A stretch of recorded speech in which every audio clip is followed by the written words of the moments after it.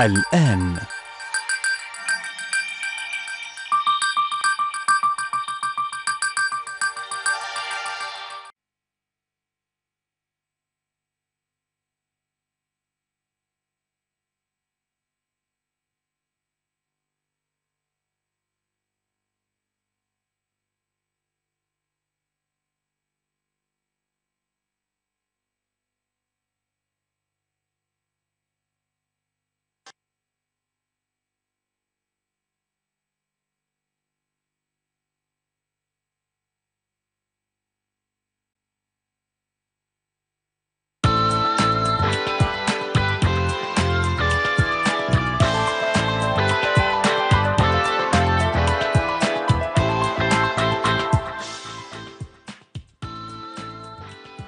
صباح الخير والسعادة على حضراتكم. صباح جديد وحلقة جديدة من برنامجكم صباح مي أول حلقات الأسبوع النهاردة حلقة يوم الاثنين بتاريخ 26 يوليو 2021 يا رب النهاردة يكون يوم جميل على حضراتكم طبعا مليان بنشاط وطاقة إيجابية وعمل جديد. طبعا بعد أجازة طويلة بمناسبة عيد الأضحى المبارك كل سنة وكل إخواتنا المسلمين طيبين وبخير وكل مصر طيبة وبخير. خليني أذكر حضراتكم بفقراتنا زي ما إحنا متعودين بنبدأ دايما بفقرتنا الإخبارية. هنتابع فيها النهاردة نشاط الرئيس عبد الفتاح السيسي بالأمس واجتماعه مع دكتور مصطفى مدبولي رئيس مجلس الوزراء ودكتور محمد معيط وزير المالية. هنعرف تفاصيل أكتر عن هذا الاجتماع خلال فقرتنا الإخبارية. طبعا إلى جانب العديد من الأخبار اللي بيكون معانا فيها مداخلات هاتفية لمعرفة مزيد من التفاصيل. فقرتنا الثانية فقرة الصحافة اللي بنحلل فيها أبرز المنشطات اللي بتعتلي أغلب الصحف المصرية وهيكون ده مع ضيفنا اللي هيكون معانا عبر تقنية سكايب أستاذ يسري السيد مدير تحرير جريدة الجمهورية. هنحلل معاه أبرز المنشطات اللي بتعتلي أغلب الصحف المصرية. فقرتنا الثالثة والأخيرة زي ما إحنا متعودين كل يوم اتنين بتكون معانا فقرة خاصة بالسياحة والآثار. هنتكلم النهاردة عن الرياضة في مصر القديمة. هنتكلم عن اهتمام الفراعنة بالرياضة وكمان أنواع الرياضة اللي كانوا بيمارسوها. هنعرف أنواع كتيرة يعني طبعا ما كانش بيجي على أذهاننا إن هم يكونوا بي بيتعملوا يعني بيعملوا بيها أو يعني بيلعبوا هذه الرياضة الهوكي الجمباز يعني أنواع كتير من الرياضيات. هنعرف نعرف أكتر عن اهتمام الفراعنة بالرياضة من خلال ضيفنا اللي هيكون معانا أستاذ أحمد عامر الباحث الأثري بوزارة السياحة والآثار هيكون معانا عبر الماسنجر هنتابع معاه ونعرف الرياضة في مصر القديمة. خلينا نروح لفاصل مشاهدينا في البداية ونرجع نبدأ أول فقرتنا فقرتنا الإخبارية. خليكم معانا.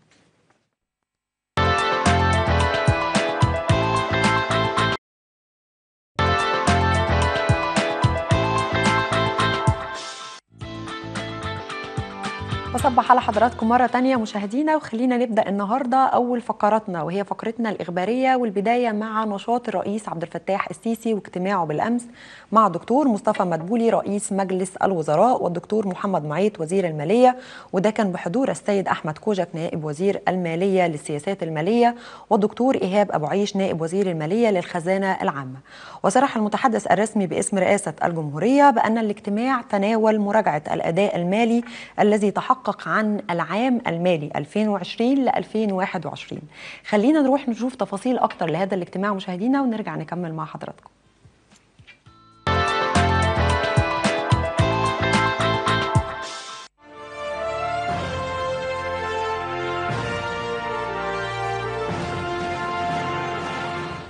اجتمع السيد الرئيس عبد الفتاح السيسي مع الدكتور مصطفى مدبولي رئيس مجلس الوزراء والدكتور محمد معيط وزير المالية. بحضور السيد أحمد كوجوك نائب وزير المالية للسياسات المالية والدكتور إيهاب أبو عيش نائب وزير المالية للخزانة العامة. صرح المتحدث الرسمي باسم رئاسة الجمهورية بأن الاجتماع تناول مراجعة الأداء المالي الذي تحقق في العام المالي 2020-2021 وقد وجه السيد الرئيس بالاستمرار في الحفاظ على معدلات الأداء الاقتصادي من أجل استقرار الأوضاع النقدية والاقتصادية للدولة. مع تدقيق وتحديث آليات حوكمة بيانات الناتج المحلي بانتظام.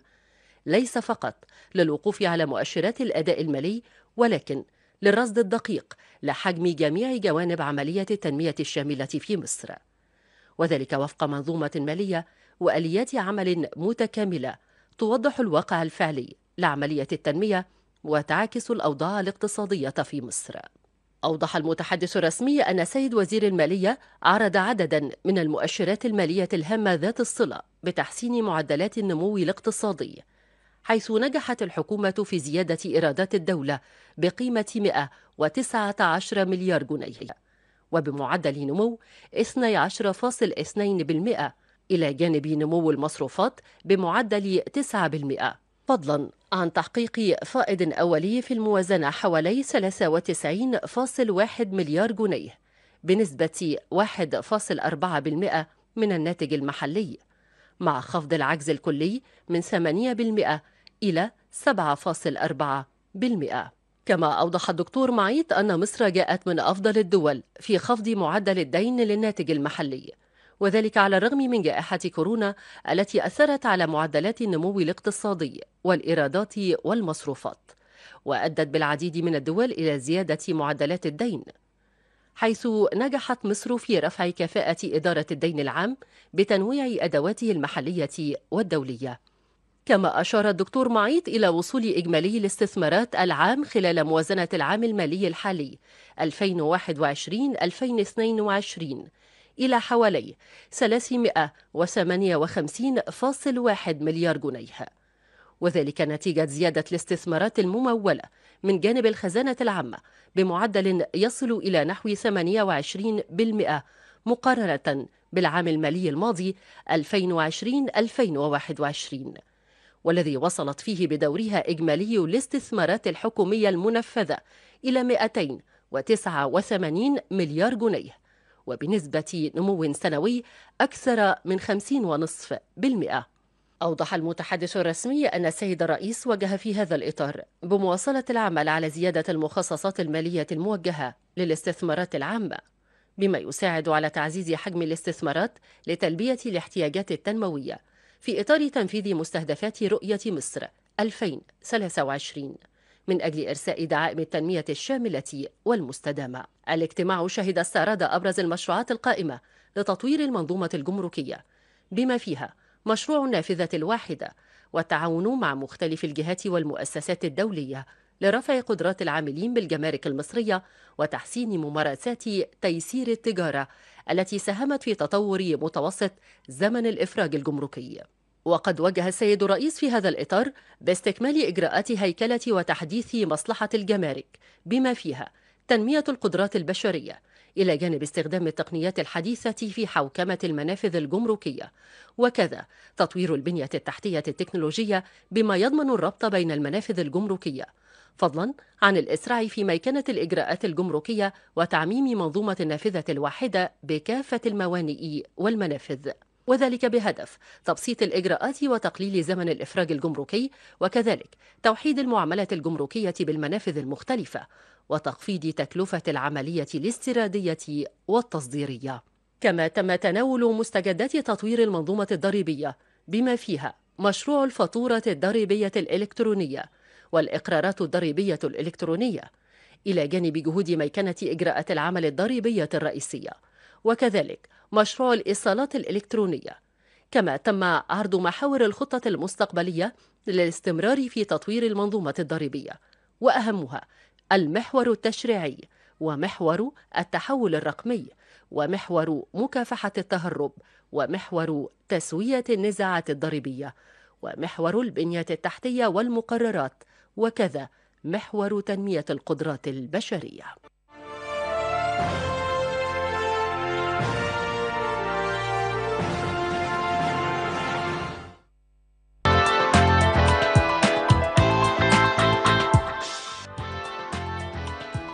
برحب بحضراتكم مرة تانية مشاهدينا. تباين الآراء حول تحديد آلية مناسبة لتنظيم عمل الرحلات الاختيارية للسائح الأجنبي فقد طفت بقوة أزمة الصراع بين الشركات الجالبة للرحلات الأجنبية والأخرى المرخصة من غير الجالبة وحول من يحق له تنظيم الرحلات الاختيارية. إحنا معانا عبر الهاتف دكتور حسام هزاع الخبير السياحي وعضو الاتحاد المصري للغرف السياحية. صباح الخير يا دكتور. صباح النور يا فندم. صباح الخير. ازي حضرتك؟ تحياتنا لحضرتك. يعني خلي خلينا نفهم من حضرتك في البداية يا دكتور يعني المقصود بالرحلات الاختيارية. الرحلات الاختيارية هي بتبقى من ضمن الرحلات اللي معروضة آه، للسايح آه، في مصر. ما قدرش يشتريها من بره ولكن بامكانيته شرائها من هنا من الوكيل بتاعه والسبلاير اللي هو جايبه. بمعنى إن بره آه، بيتم آه، شراكة ما بين الوكيل المصري والوكيل الأجنبي. نعم. الوكيل المصري بينفذ كافة ال- الرح- الرحلة كاملة هنا في مصر طبقا للتعاقد مع الوكيل الأجنبي. والوكيل الأجنبي آه، بيسوق لمصر بناء على الأسعار اللي بعتها له الوكيل المصري شريكه هنا في مصر أو اللي بينفذ الرحلات بتاعته. تمام. اللي بيحصل إن الوكيل الأجنبي والوكيل المصري بيتقابلوا في المعارض الدولية بيقوموا بالتسويق آه، بيقوموا بوضع الخطط والبرامج السياحية مع بعض.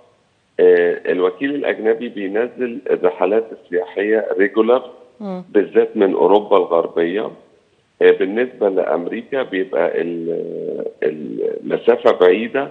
فبيبقى السائح الأمريكي مثلا حاجز كل الرحلات الس- السياحية الثقافية مثلا الأهرامات والمتاحف و- ومعاها تمام. الرحلات الاختيارية. آه. يعني فاهماني تمام حضرتك تمام. الرحلات الاختيارية بقى مثلا ممكن يكون في إيه؟ في صوت وضوء في الهرم. ده مش مش مش مش من ال- مش من أساس البرنامج. مم. أو في الأقصر وأسوان بيبقى آه، مثلا عنده ال- الرحلات اللي هي زي معبد الكرنك وادي الملوك إلى آخره بس مثلا ما عندوش صوت وضوء في الكرنك ما عندوش مثلا لفة آه، بيسموها بالحنطور يشوف في المدينة. آه، سيتي تور يعني إلى آخره. في مثلا زيارات بتبقى أبو سمبل دي بتبقى اختيارية مش أساسية. تمام. خلاص؟ في الغردقة نفس الحكاية وفي البحر الأحمر. المشكلة قامت في الغردقة والبحر الأحمر آه، وطبعا شرم الشيخ إن في ناس آه، مش أساسا من المجال السياحي خالص أو ناس يعني اللي هو عايز أقول إيه هو مش وظيفته إن هو يبيع الرحلات الاختيارية ودي هنا فيها خطورة. لأن السائح الأجنبي بيبقى جاي مع الوكيل حاجز كل حاجة. التكلفة والتأمين الصحي عليه والتأمين ضد الحوادث عليه كله مع. الوكيل الأجنبي من بره. فاللي بينفذ شغله الوكيل المصري اللي هنا. آه، اللي هو متعاقد معاه وبيبقى مسؤول عنه مسؤولية كاملة برضه ومسؤول. وطبعا بنعمل اختارات أمنية في حالة الرحلات الاختيارية لو هو طالع الأقصر لو هو من الغردقة يعني. آه، بيبقى فيه آه، بيانات بكل شيء. تمام. فاللي حصل إن بعض الناس مش من أو موظف بقى استقبال موظف على ال beach واحد في مركز آه، غوص واحد أساسا آه، من بره من الشارع آه، سواق تاكسي يدخل يتعرف مم. على زبون أو حاجة ويحاول يبيع له ال optional ده من غير أي ضوابط. أو الرحلات الاختيارية وبعدين ما فيش إخطار أمني وما فيش تصاريح طبعا. وبعدين ممكن بتسبب مشاكل وحوادث وكان حصلت حوادث. ف... صحيح. آه، ف... فمين بيتحمل المسؤولية في الوقت ده؟ صحيح. ثانيا بيبيع بأسعار رخيصة جدا لأن هو مش متكلف. حاجة يعني الوكيل المصري مع الوكيل الأجنبي آه، بيبقى فيه مثلا آه، تكلفة معينة في بروشور يعني في تكلفة تأمينية كمان. التكلفة التأمينية وكل حاجة لا وكمان المعارض اللي بيحضرها يعني صحيح. اي معرض بيحضره الواحد بره مع ال stand اللي بي- بياخده في المعرض ده بيتكلف مثلا من 60 ل 100 ألف جنيه يعني مم. آه، أنا قصدي 60 ل 100 ألف مع- الموظفين اللي طالع بيهم مع رحلات الطيران وكده. فبيجي بيحمل ال cost على الرحلات الاختيارية دي بمعنى إيه؟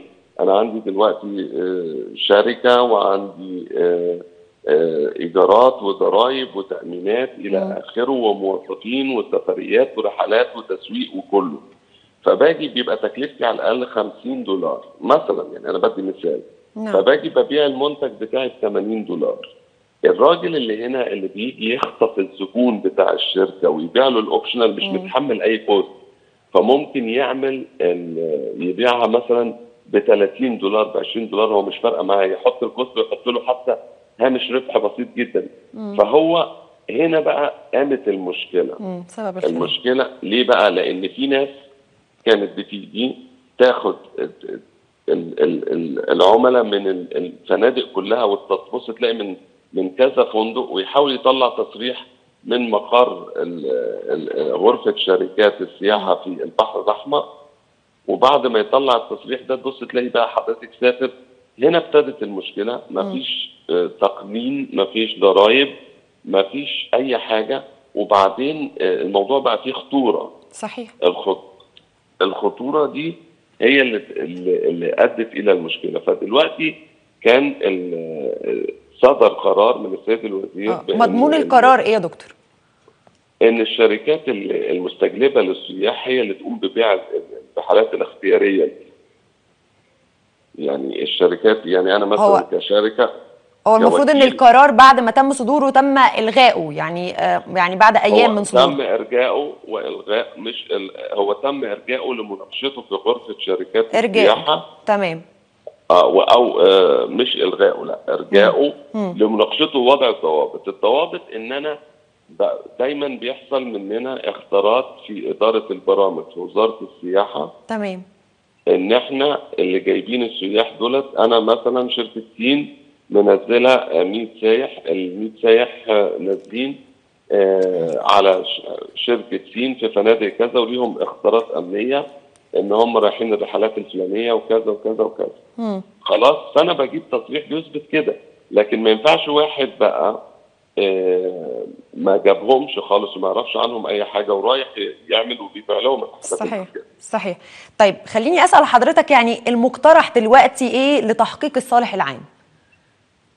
لتحقيق الصالح العام إن هو بيبقى المفروض إن آه، طبعا آه، يحصل تنسيق ما بين الشركات ال- ال- المستجلبة والشركات المرخصه زيها ألف. آه، آه، إنها تبيع بنفس ال- الأسعار بيكون في بينهم تعاقدات واخدة بال حضرتك وبيبقى. في اتفاقيات بقى على النسب والحاجات دي.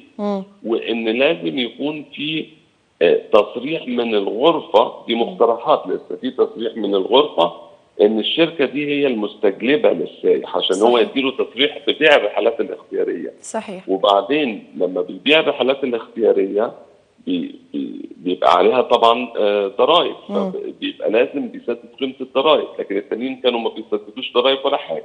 صحيح. تمام؟ صحيح. بس.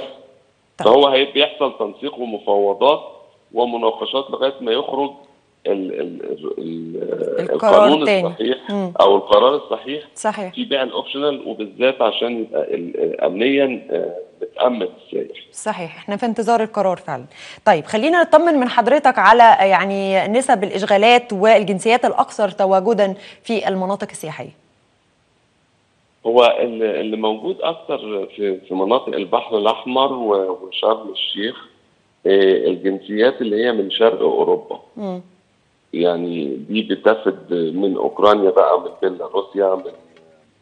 المجر من بلغاريا من بولندا آه، آه، من كازا- كازاخستان أو تاجيكستان يعني السياح كلها من شرق أوروبا والسياح آه، دي لم تتوقف بعد إصدار القرارات بفتح الفنادق بنسبة 50% مع آه، وجود الإجراءات الاحترازية والضمانات. والأمانات والتطعيم للعاملين في قطاع السياحة.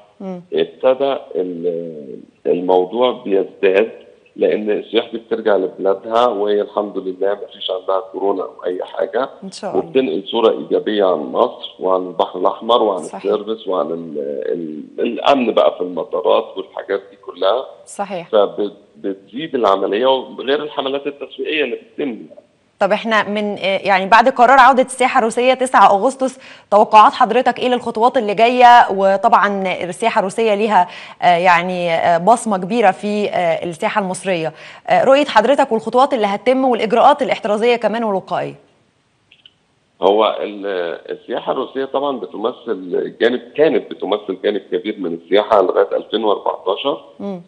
آه، حوالي 3 مليون و100 ألف سائح جم مصر في 2014 وده كان رقم كبير بيمثل حوالي 33% من إجمالي الوافدين من سياح العالم إلى مصر لكن بعد حادثة الطائرة الروسية آه، صحيح. تم آه، وقف السياحة الروسية خالص آه، دلوقتي ابتدت تفتح بعد قرار الرئيس بوتين وطبعا بعد المفاوضات الكبيرة ما بين الدولة المصرية وسيادة الرئيس هنا وبوتين في شهر أبريل الماضي كان في اتصال هاتفي وبعدين تم رفع الحظر في جو- في يوليو.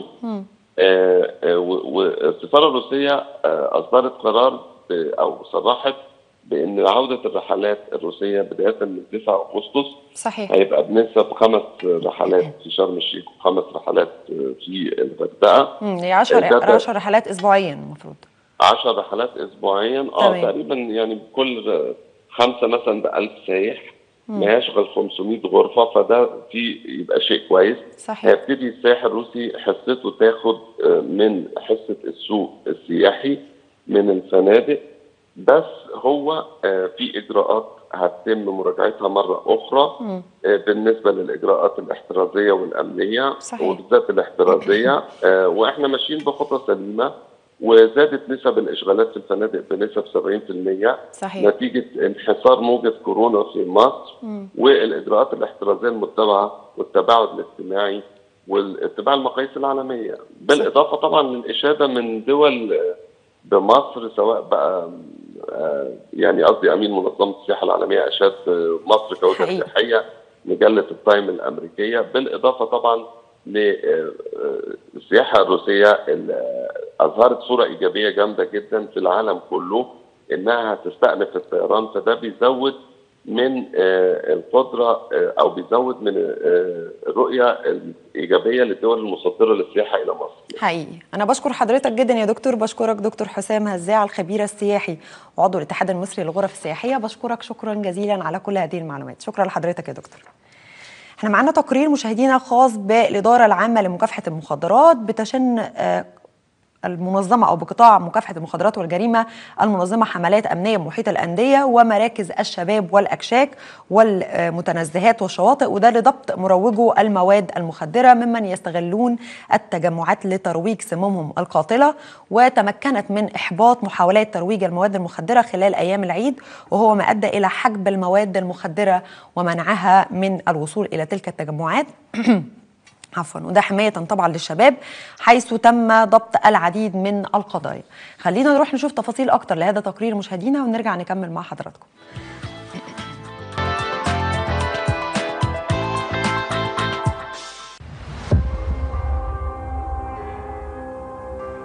يستغل تجار ومروجو المواد المخدرة الأعياد والمناسبات لترويج سمومهم القاتلة بين تجمعات الشباب بخاصة بمحيط الأندية الرياضية ومراكز الشباب والمتنزهات والأكشاك.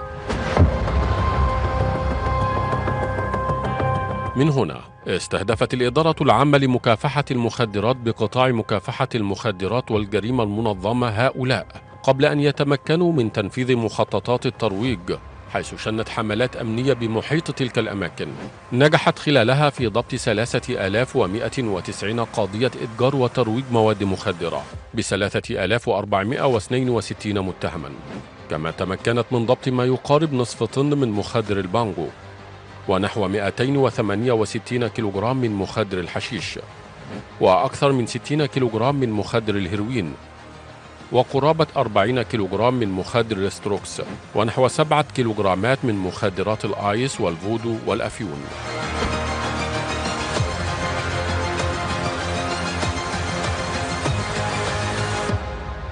كما نجحت الإدارة خلال تلك الحملات في ضبط أكثر من 30 ألف قرص مخدر لعقار الترامادول وأكثر من 4000 قرص لعقار الكبتاجون. إضافة إلى أكثر من 200 ألف قرص وأنبول مؤثر على الحالة النفسية والعصبية. وتقدر القيمة المالية للمواد المخدرة المضبوطة ب 34 مليون جنيه.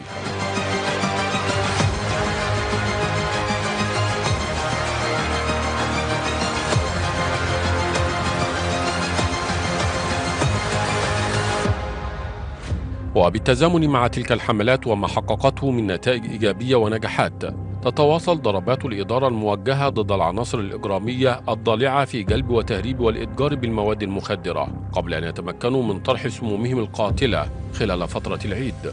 وتمكنت من ضبط قرابة 181 ألف قرص مخدر متنوع. بحوزة اثنين من العناصر الإجرامية بالبحيرة قامت الإدارة باستهدافهما بعد تأكيد التحريات تخصصهما في الإتجار بالعقاقير المخدرة والمؤثرة على الحالة النفسية والعصبية. وتقدر القيمة المالية للمواد المخدرة المضبوطة بثلاثة ملايين جنيه كما استهدفت تشكيلا عصابيا تخصص في جلب وتهريب وترويج المواد المخدرة بخاصة الهيروين وإعادة تدويره وخلطه لمضاعفة كمياته. ونجحت في ضبط عناصر التشكيل وبحوزتهم خمسة كيلوغرامات من مخدر الهيروين تقدر قيمتها المالية بمليوني جنيه. وكذا تم ضبط مبلغ مالي وسيارة. وتمكنت الإدارة من ضبط 370 تربة لمخدر الحشيش بحوزة خمسة من العناصر الإجرامية بالغربية والبحيرة والإسكندرية. اعترفوا بحيازة تلك الكمية بقصد الإتجار وتقدر قيمتها المالية بمليونين وستمائة وتسعين ألف جنيه.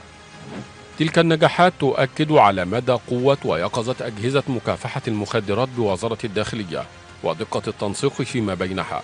وهو ما ينعكس على حماية الشباب والمجتمع من المخدرات وأخطارها وآثارها السلبية.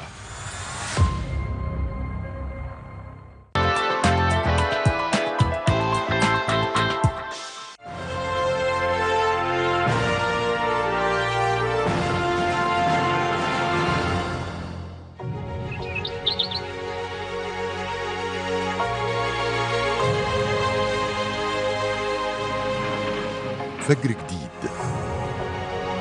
بتشرق شمسه على كل مصر. طريق جديد بنرسمه للأجيال اللي جاية لحياة أجمل وأرقى.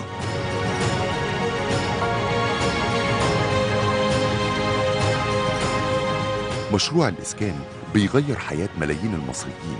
مصر بتبني 20 مدينة جديدة بمواصفات عالمية قادرة على استيعاب 30 مليون نسمة.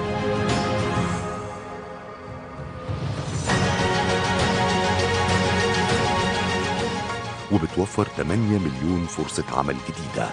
أنشأت مصر 333 ألف وحدة إسكان اجتماعي و28 ألف وحدة إسكان متوسط بالإضافة ل 102 ألف وحدة إسكان للعشوائيات مجهزة بكل مستلزمات الحياة الكريمة.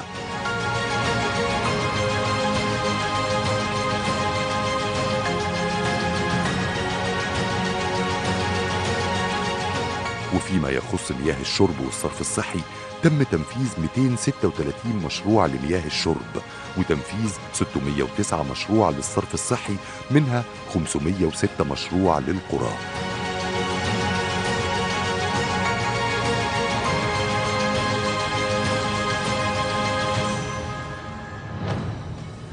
بلغ إجمالي الاستثمارات خلال ست سنوات حتى يونيو 2020 813 مليار جنيه. مصر التحدي والإنجاز.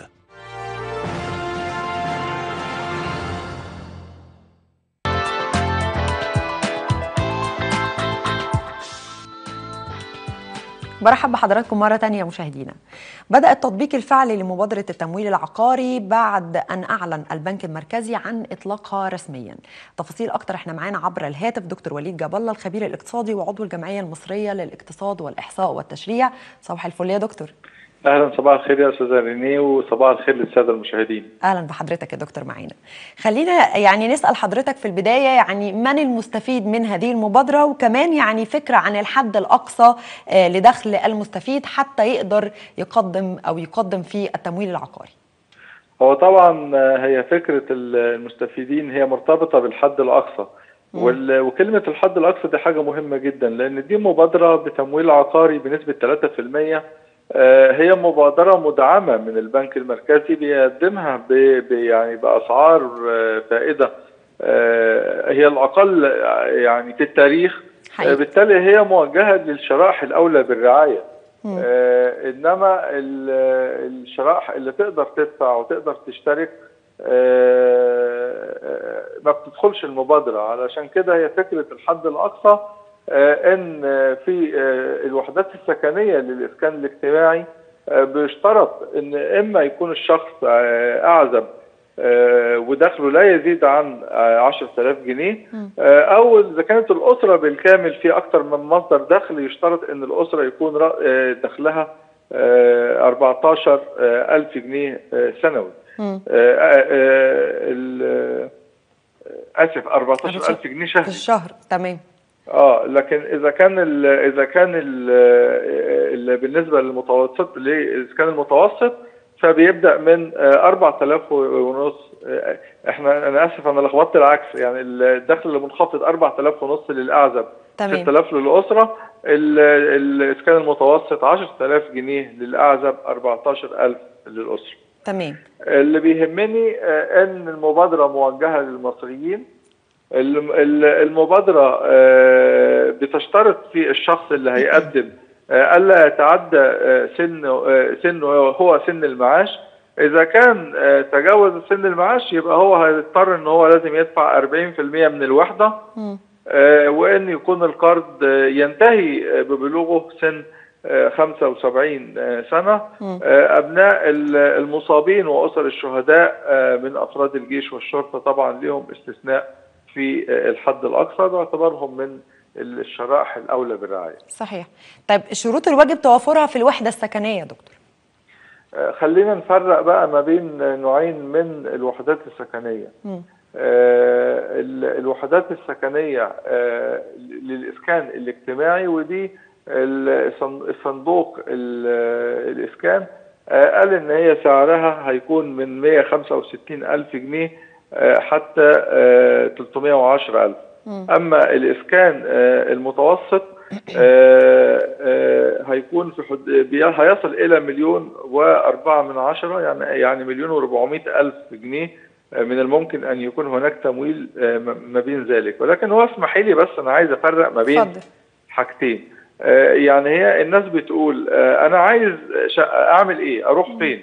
آه، المبادرة طبعا أطلقها البنك المركزي. آه، واشترك فيها آه، مجموعة بنوك. آه، يعني مش عارف إذا كان ينفع أقول اسماء آه، البنوك اتفضل. يعني اشترك فيها من البنوك المشهورة اللي الناس ممكن تعرفها البنك الأهلي تمام. آه، بنك القاهرة آه، البنك الإسكان والتعمير التجاري الدولي ال- ال- المصرف المتحد آه، بنك التنمية الصناعية قطر الوطني بلوم مصر. آه، قناة السويس الكويت الوطني كريدي أجريكول. الحقيقة معظم 22 بنك مشتركين في المبادرة فالمواطن مش هيكون عنده مشكلة في إنه يلاقي البنك القريب منه. صحيح في سهولة ولكن سهولة. ولكن إحنا عايزين برضه نرجع ونقول آه، هل المبادرة متعلقة بالشقق والوحدات آه، اللي في المدن الجديدة ولا من الممكن إن أي حد هيجيب آه، ويذهب بها إلى البنك؟ طبعا آه، ال- ال- خلال أسبوعين هيطرح هتطرح وزارة الإسكان آه، مجموعة من ال- الشقق آه، في ال- المدن العمرانية الجديدة ودي التقديم هيكون من خلال آه، مكاتب البريد. هيكون هناك آه، كراسات شروط إلكترونية من خلال مكاتب البريد الإلكترونية. ودي آه، التقديم فيها طبعا هيكون خلال آه، يعني هتبدأ تنزل خلال أسبوعين إن شاء الله. والتقديم فيها هيكون آه، سهل وميسور وهيكون مطالب فيها مجموعة من المستندات البسيطة آه، آه، اللي متعلقة بصورة بطاقة الرقم القومي علشان التاكد إن الشخص مصري. تمام. الجواز انه يكون إن هو متزوج أو شهادة ميلاد للقصر مفردات المرتب أو ما يفيد بالدخل بخصوص يعني الأعمال الحرة. آه، إزاي إن هو يثبت يثبت دخله من خلال إيصالات مية أو غاز. ومثل ذلك الأمر. آه، وده التقديم فيها هيكون سهل جدا. بنلاقي تقديم شوية آه، هيكون آه، أكثر مم. إذا كانت الوحدة السكنية أنا مش هجيبها من إعلانات وزارة الإسكان وهيكون من خلال أحد الكومباوندات في المدن الجديدة. تمام. يبقى في الحالة دي هنكون محتاجين اختار آه، اختار تخصيص للوحدة آه، صورة من الترخيص آه، شهادة آه، من يعني من الشهر العقاري آه، بالبيانات المساحية وكشف رسمي من الضرائب العقارية.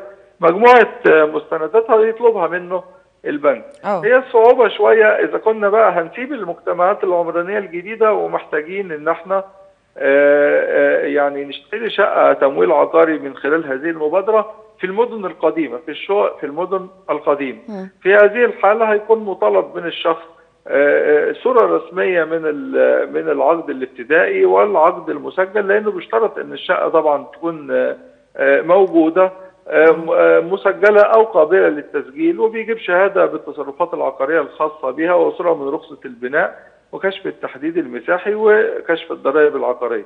يبقى أنا يبقى أنا عندي حاجة من اتنين. الحاجة الأولى إن أنا أذهب مباشر إلى البنك اليوم بخصوص ال ال الوحدات السكنية في المدن القديمة وبناخد الإجراءات ونبدأ نشتغل عليها أو بننتظر أسبوعين لحد ما بتطرح وزارة الإسكان ال- الوحدات ال- اللي هي هتقدمها من خلال الصندوق الاجتماعي وهيئة المجتمعات العمرانية الجديدة أو أو بيكون من خلال الكومباوند اللي بتقدمه الشركات الخاصة في المدن الجديدة وبن- وبنستوفي منها الإجراءات وبنقدم في المبادرة بإذن الله. يعني يا دكتور بس نفهم الناس إن الموضوع فيه سهولة ويسر بطريقة آه، جديدة لأنه الناس فاهمة إنه الموضوع معقد الموضوع هيكون فيه أوراق آه، أنا مش هعرف أجيبها الموضوع آه، لا ده أنا هروح وهاجي وهعمل كذا مشوار يعني الموضوع هيكون متعب.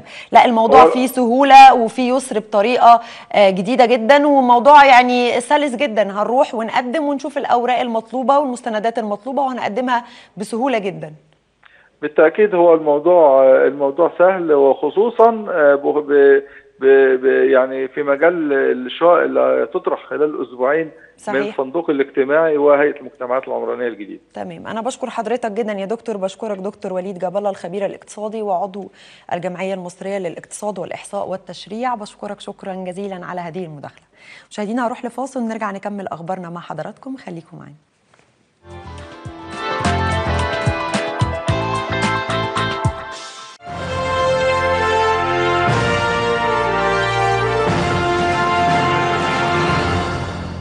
افتح عينيك على المستقبل. شوف عن قرب.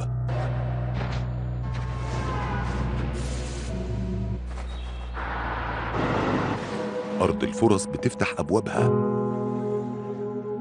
استعد لبداية جديدة.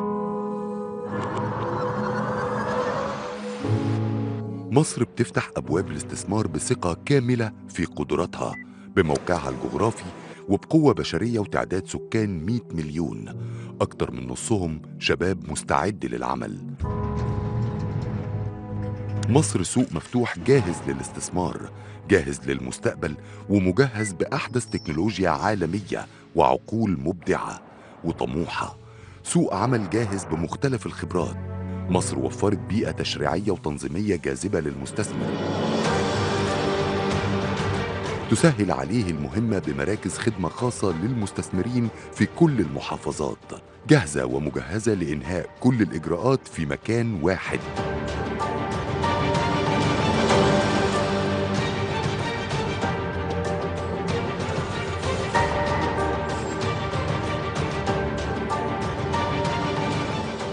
مصر وفرت بيئة تساند وتدعم صغار المستثمرين ورجال الأعمال في كافة المجالات. ماليا إداريا قانونيا وتكنولوجيا بمبادرة فكرتك شركتك.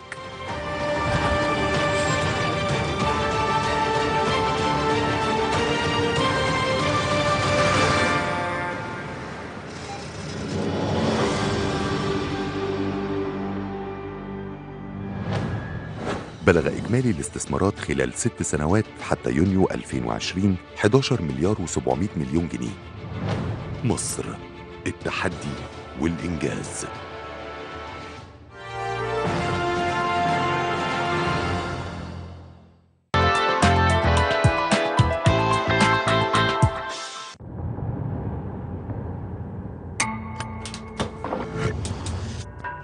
ده كان حالنا لسنين وسنين. بات امرا طبيعيا أن يقضي المصريون اوقاتا طويلة في الظلام. الكهرباء في مصر كل يوم لكن الجدل بشأنها جريمة تسبب فيها الانقطاع المتكرر للتيار الكهربائي. كان لازم يجي شعاع النور يفتح أبواب الأمل يضيء المستقبل ينور سنين مصر اللي جاية. يحول أحلامنا لحقيقة واضحة. مصر رسمت بخيوط من نور خريطة المستقبل أجمل.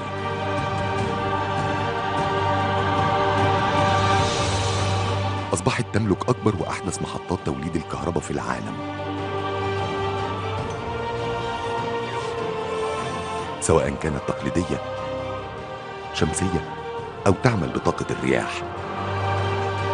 انتهت مصر من تنفيذ 185 مشروع بتكلفة 366.6 من عشرة مليار جنيه لزيادة القدرة الكهربائية بأكثر من 25 ألف ميجا واط وده يساوي 12 ضعف قدرة السد العالي. وبكده حققنا الاكتفاء الذاتي وبدأنا نصدر للدول العربية والأفريقية وتم الانتهاء من صيانة ورفع كفاءة المحطات القديمة وزيادة سعة المحولات. العدادات مسبوقة الدفع مشروع ضخم هدفنا تركيب 10 مليون عداد. خلصنا 3 مليون و200 ألف وجاري تركيب 6 مليون و800 ألف عداد. وبنفس التصميم والإرادة جاري الانتهاء من محطة الضبعة النووية. بلغ حجم استثمارات المشروعات خلال ست سنوات حتى يونيو 2020 614 مليار جنيه. مصر التحدي والإنجاز.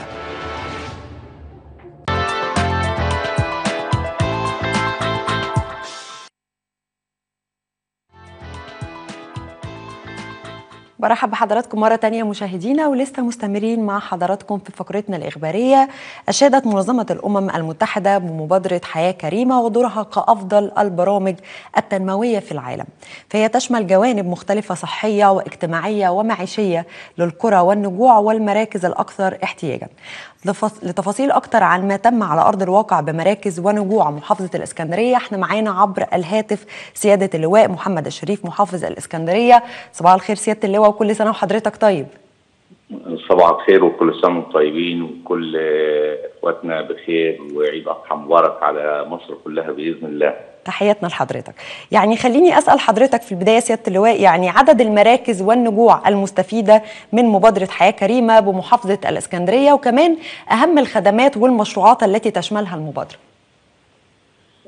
خليني أقول لك طبعا في العديد من الناس على مستوى مصر يعني بيستغرب الحقيقة بيقول ليه يعني إسكندرية فيها مناطق محتاجة ومناطق عشوائية طبعا آه الحقيقة م. فعلا إحنا عندنا آه مناطق كتير آه فيها عشوائية كانت خلال السنوات الماضية وعندنا آه قرى قديمة جدا ما حدش بص لها على مدار العشرات السنين الأخيرة. نعم. عندنا المبادرة حياة كريمة كانت لما دخلت على محافظة اسكندرية كان عندنا مدينة مركز ومدينة برج العرب القديمة م. ودي مختلفة عن برج العرب أو مدينة برج العرب الجديدة اللي إحنا بنروحها دايما. م. إحنا الحقيقة الحقيقة عندنا في ثلاث وحدات محلية رئيسية في برج العرب وهي قرية بهيج وقرية أبو صير وقرية الغربانيات. وعندنا 46 نجع وتابع تابعين للقرى الأم دي. إحنا عندنا عدد المشروعات اللي شغالين فيها اللي تشملهم المبادرة حوالي 637 مشروع. في 52 مشروع خدمي و585 مشروع سكني يعني انشاء وحدات سكنية جديدة خالص للمواطنين المقيمين هناك. وعندنا 21 مشروع في قطاع التعليم وبالاضافه لمشروعات في قطاعات الغاز والاتصالات والبترول. المشروعات دي كلها يعني إحنا سلمنا المنطقة كلها بالكامل للهيئة الهندسية اللي هتبدأ عملها بالفعل أو بدأت بدات عملها بالفعل خلال الفترة اللي فاتت. عندنا في الموقف التنفيذي للمبادرة إحنا عندنا في قطاع المياه حوالي 8 مشروعات. م. وعندنا في قطاع الصرف الصحي 14 مشروع. وعندنا في قطاع الصحة حوالي 10 مشروعات. كل ده هيبدأ العمل فيه، عندنا في الشباب والرياضة خمس مشروعات. عندنا في قطاع الزراعة مشروعين. خليني أقول لك إن المشروعات اللي بدأ العمل فيها بالفعل دي. مش عاوز أقول لك سعادة الناس قد إيه هناك. لما صحيح. بننزل ونشوف ويشوفوا إن بدأ الشغل وبدأ الصرف الصحي وبدأ قطاع الصحة وبدأ إنشاء بعض المدارس بالفعل. طبعا ده شيء بيسعد الناس كتير جدا. الحقيقة عدد السكان هناك يعني في المنطقة مركز ومدينة برج العرب القديمة 130 ألف نسمة هيستفيدوا من المشروعات اللي بدأت بالفعل. صحيح. طب التكلفة الإجمالية سيادة اللواء؟ إحنا التكلفة الإجمالية لمشروعات مبادرة حياة كريمة في المنطقة دي فقط 3 مليار جنيه. 3 مليار. آه إن شاء الله. إن شاء الله. طيب خليني أسأل حضرتك يعني هل بيتم التنفيذ والعمل على مراحل؟ وأيضا كمان يعني حجم المشروعات التي تتم على أرض الواقع وأهم المراكز والقرى التي يتم العمل بها؟ في البداية المشروعات بدات بالفعل ولازم يكون الشغل على مراحل متعددة. مم. يعني مش هقدر أعمل رصف إلا لما أكون خلصت الصرف الصحي وخلصت شبكات المية وشبكات الكهرباء. فالمراحل دي كل منطقة فيها مراحل مختلفة عن الأخرى. عشان مشكلتنا في مبادره حياه كريمه في في المنطقة دي بالذات إن إحنا في مسافات كبيرة وبينية بين القرى وبعض. يعني بدأنا في قرى أبو صير بالفعل والمشروعات بدأت والمعدات موجودة والهيئة الهندسية بدأت الفعل في تشغيل العمل في المنطقة اللي هناك. بيتوقف العمل كله بيترتب على بعضه. إحنا لازلنا لغاية دلوقتي في لقاءات كتير بيننا وبين الهيئة الهندسية للقوات المسلحة. بنراجع فيها الترتيبات والأولويات لكن الكلام ده كله بيخلص خلال أيام قليلة جدا إن شاء الله. إن شاء الله. طيب إحنا يعني شايفين إنه مش بس الاهتمام بتقديم الخدمات وتبطين الترع، كمان في اهتمام بالجانب الاجتماعي والإنساني زي مشروع إنشاء مجمع بيشمل وحدة إرشاد نفسي ومدينة للانشطه الاجتماعية وكمان دور لرعاية كبار السن، يعني نحب نعرف تفاصيل أكتر من حضرتك.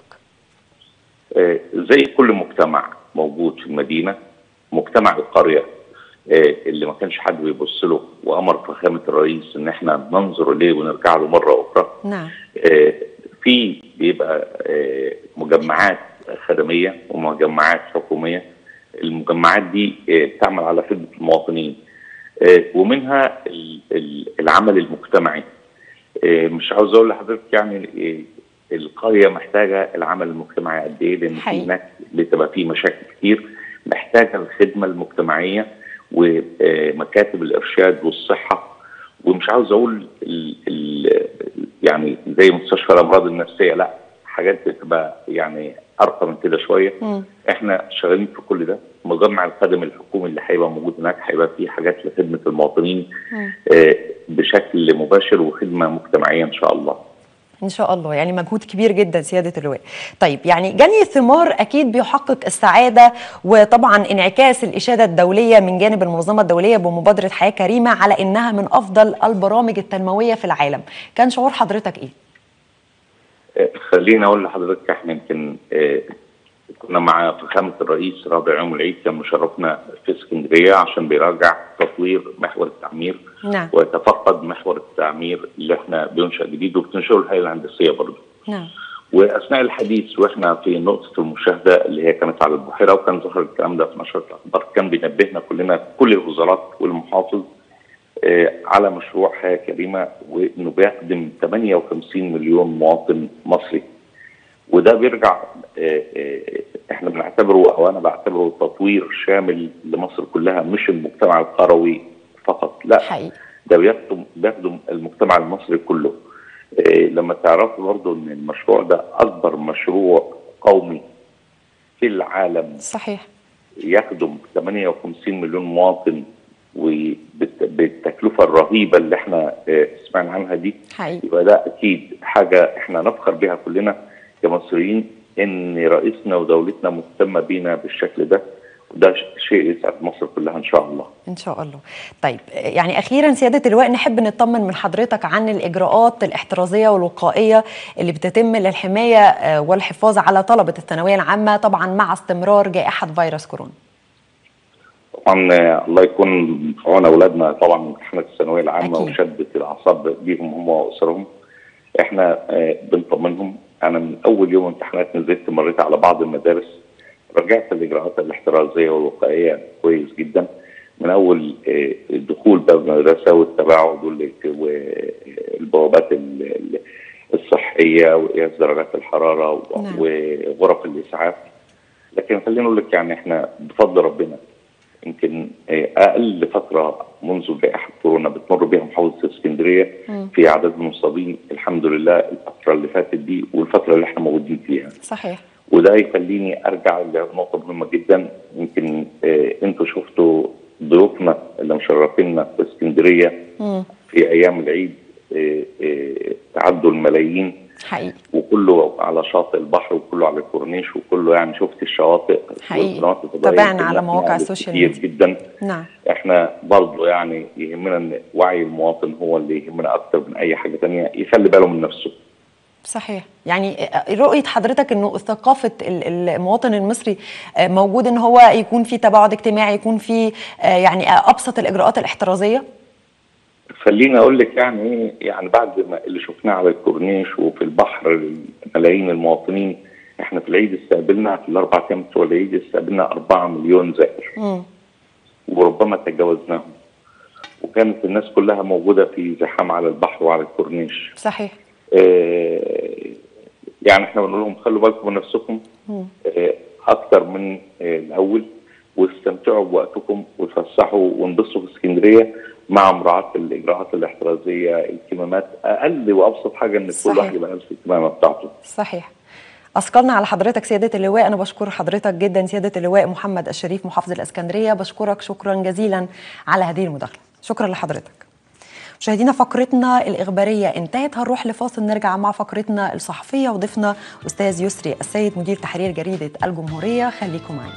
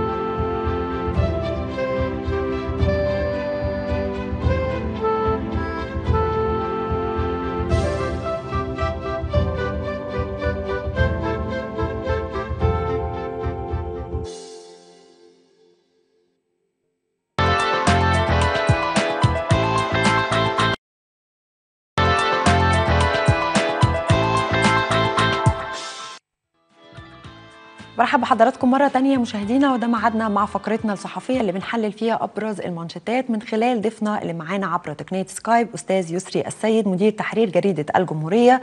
صباح الخير يا أستاذ يسري. صباح الخير يا فندم وكل سنة وحضرتك طيبة والمشاهدين طيبين. كل سنة وحضرتك طيب. خليني أبدأ مع حضرتك آه، أول منشطاتنا والخاصة بنشاط الرئيس عبد الفتاح السيسي بالأمس واجتماعه مع دكتور مصطفى مدبولي رئيس مجلس الوزراء ودكتور محمد معيط وزير المالية وكان بحضور العديد من المسؤولين. وصرح سفير بسام راضي المتحدث الرسمي باسم رئاسة الجمهورية بأن الاجتماع تناول مراجعة الأداء المالي آه الذي تحقق عن العام المالي 2020 و2021 ووجه الرئيس بالاستمرار في الحفاظ على معدلات الأداء الاقتصادي من أجل استقرار الأوضاع النقدية والاقتصادية للدولة مع تدقيق وتحديث آليات حوكمة بيانات الناتج المحلي بانتظام. ليس فقط للوقوف على مؤشرات الأداء المالي ولكن للرصد الدقيق لحجم جميع جوانب عملية التنمية الشاملة في مصر وذلك وفق منظومة مالية وآليات عمل متكاملة توضح الواقع الفعلي لعملية التنمية وتعكس الأوضاع الاقتصادية في مصر. طبعا نتكلم مع حضرتك في البداية عن رؤية حضرتك طبعا لتفاصيل هذا الاجتماع ونتكلم بشكل عام عن الأوضاع الاقتصادية في مصر ورؤية حضرتك للوضع الاقتصادي والمالي الحالي في مصر. هو طبعا ده ال ال ال النشاط تقريبا شبه الروتين السيد الرئيس لأن لا توجد أهم من المشكلة الاقتصادية.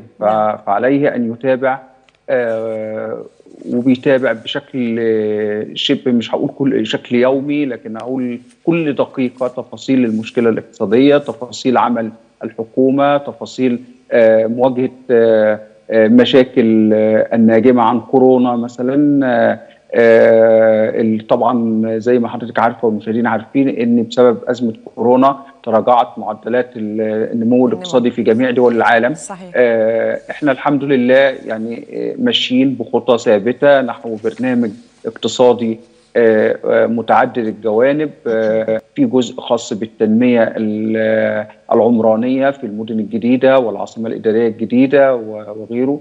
وفي أنشطة أخرى متعلقة باعاده الروح للصناعه المصرية إعادة الروح للزراعه المصرية إعادة الروح لمختلف الأنشطة الاقتصادية التجارة مثلا السياحة مثلا البترول والغاز الطبيعي. كل موارد الاقتصاد المصري بيحاول السيد الرئيس مع المجموعة الاقتصادية مع السيد رئيس الوزراء محاولة تعظيم الناتج القومي تعظيم الموارد التي تدخل إلى الدولة.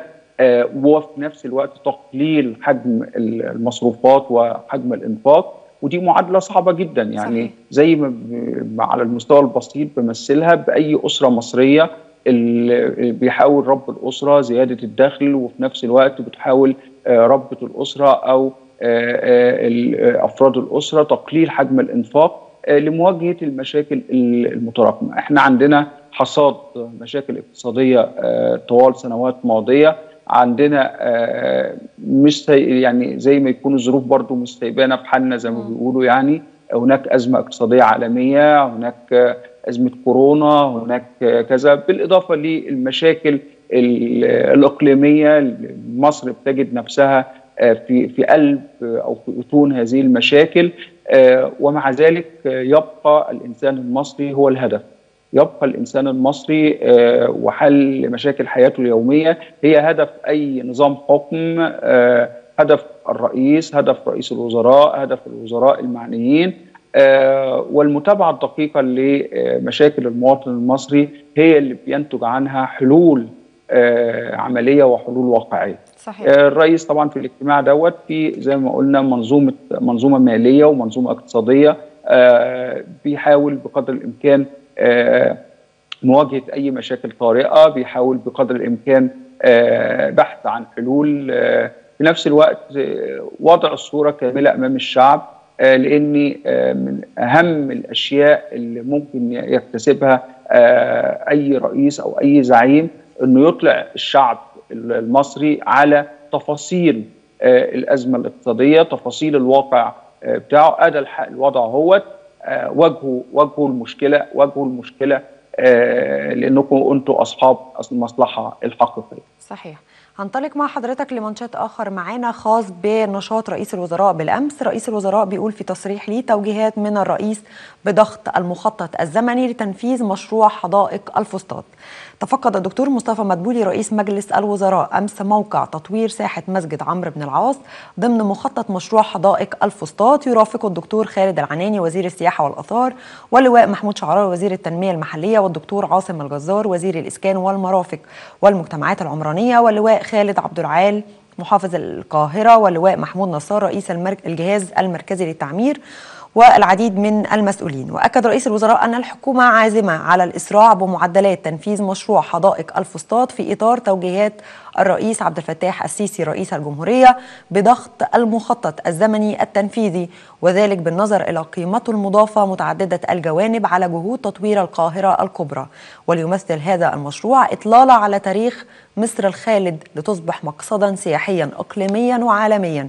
يعكس عراقة الحضارة المصرية مع الاستمرار في هذا الإطار في تطوير الطرق والمحاور والمداخل الرئيسية المحيطة بموقع المشروع وده لاستيعاب حركة المواطنين والسياحة المتوقعة لموقع المشروع. رؤية حضرتك لهذا الخبر. اولا يعني منذ أسابيع تم افتتاح متحف الحضارة في الفسطاط. تحولت يعني منطقة الفسطاط إلى منطقة جذب عالمية وبتاريخها القديم زي أي بقعة في مصر يعني فيها كنوز أثرية فيها حقب حضارية متعددة. طبعا الفسطاط والقاهرة الإسلامية القديمة والقاهرة القديمة هي يعني در التاج بالنسبة للعواصم إذا قارنا القاهرة. والتي لا تقارن بعواصم حضارية أخرى آن الأوان إن إحنا نزيل زي ما بيقولوا الغبار على وجه القاهرة الأصيل لكي تعود إلى سابق عهدها. الفسطاط زي ما قلت حضرتك فتحنا متحف الحضارة منذ أسابيع وبالتالي استكمال العملية عملية التطوير حاجة مهمة جدا لأن خلاص بقت في بؤرة الأنشطة السياحية وبالتالي بقت مقصد سياحي. فمش معقولة السياح هيروحوا أو زوار مصر هيروحوا أو منطقة جذب تبقى منطقة جذب مهمة جدا. مش معقولة الناس هتروح من غير ما يبقى في طرق جيدة من غير ما يبقى في تطوير لما حول المتحف. مش ممكن يكون متحف الحضارة من جوه يعني حاجة هايلة جدا ويبقى من بره المنطقة أو الوصول إليها ما يبقاش متاح بشكل جيد ولا يعكس الحضارة المصرية. صحيح. وبالتالي الجهد كبير جدا في تطوير منطقة الفسطاط من جهة. ثانيا في توجيهات أخرى للسيد الرئيس بتطوير المناطق مناطق القاهرة وسط البلد في تطوير كبير جدا لوسط البلد. وبالتالي دي عملية متكاملة. مم. عملية متكاملة بين القاهرة الأثرية وبين القاهرة القديمة. مم. القاهرة بحقابها المختلفة بأماكنها المختلفة. في توجيهات من الرئيس أمس أيضا بتطوير الاضرحه المهمة جدا اللي هي لكبار الأولياء زي السيدة زينب وسيدنا الحسين والسيده نفيسة.